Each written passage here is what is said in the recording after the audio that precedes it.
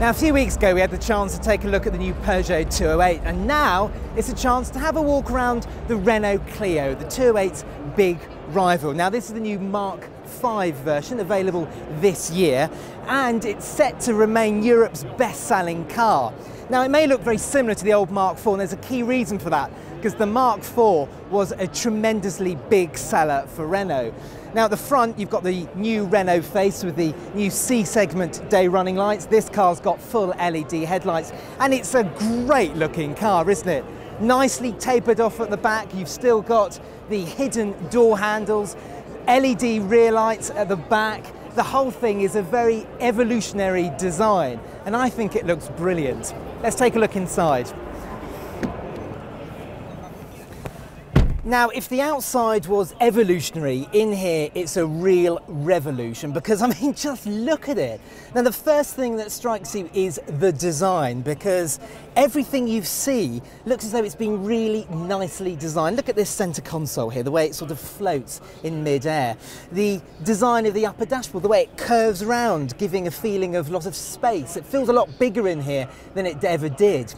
Now, another key thing in here is quality because my goodness me, does this thing feel really well screwed together. Forget old, nastily built Renaults. This Clio Mark V is, a big change. Lots of lovely soft touch plastics around the place, nice detailing. Look at the new window switches, totally new for this car. And it's clear Renault have been looking at the Germans in that regard. Speaking of the Germans, look at these knobs down here. They turn with a nice click, nice precision. That vent is very Germanic as well, but it doesn't have the sort of the seriousness of a German car. It feels very fun and lots of frivolity.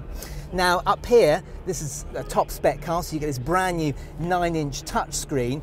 It's got uh, Renault's R-Link system, but it's been updated for this car, so it looks a lot better, it's a lot easier to use. But in the cars like the Renault Megane, the uh, ventilation controls are accessed via the touchscreen. Here, they've returned to the ventilation, proper ventilation knobs, and it's so much better for it. Now there's a virtual cockpit as well, so the sat-nav screen can be uh, repeated in front of you. Lots of nice storage, big door bins, nice bit of storage down here, nice seat fabrics. Everything in here has been really nicely thought of. There's a good bit of space in the back too, not massive, probably on par with a Ford Fiesta and a Peugeot 208.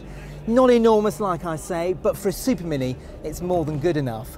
Now, the boot is a bit larger than it was before, but the key gain is a variable boot floor, so you can uh, you don't have to bend down quite so far to load your shopping in, and there's a bit of useful underfloor storage as well.